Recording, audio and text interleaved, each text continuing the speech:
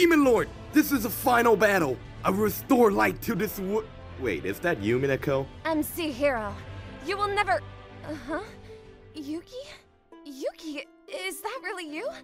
I can't believe it. Yeah, I died in Japan, but was summoned here as the legendary hero. Of course, we both got hit by the same truck, so we got isekai together. This is great. This means. This means.